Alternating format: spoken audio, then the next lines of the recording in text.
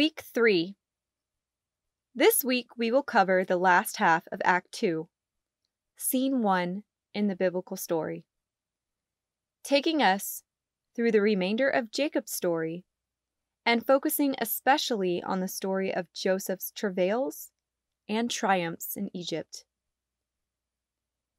This week, look for reoccurring themes in the narratives about Jacob and Joseph. We have seen that Jacob's life was marked by deception. Yet notice the great integrity of Joseph's life. In his integrity, he confronted and forgave the lack of it in his own brothers.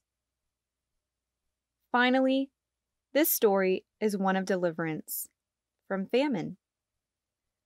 But by moving Jacob's family to Egypt, it also sets up the story of the great deliverance, the Exodus.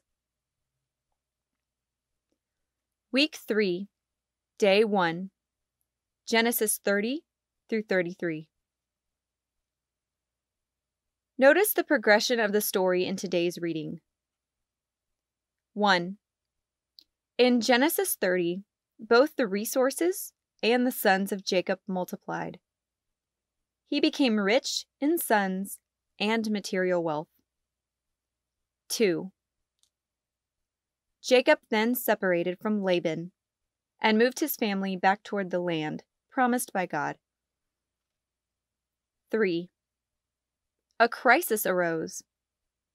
Genesis 32, 24 through 32 is a difficult passage, but we have clues about what was going on. Remember to watch for details when reading Old Testament stories. Jacob's name, the name of the tributary he crossed, Jabbok, see Genesis 32 22, and the word wrestle in Hebrew all sound very similar. So, this was obviously a significant crossroads moment in Jacob's life. Jacob's wrestling with the angelic being who was there representing God, had to do with who Jacob would be in the future. Notice the change of his name to Israel, which means, quote, God strives. He had lived as a deceiver, but was humbled here by the striking of his hip. He was blessed in this moment of struggle. Read this story as a turning point in Jacob's life and experience with God. What does this passage teach you about a relationship with God and how blessing often comes from struggle?